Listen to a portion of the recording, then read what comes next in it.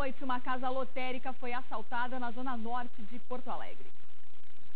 O estabelecimento fica dentro desta loja de material de construção. Por volta das 8 horas da noite, quatro homens armados invadiram o estabelecimento. Eles renderam funcionários e conseguiram levar dinheiro dos caixas. A quantia não foi divulgada.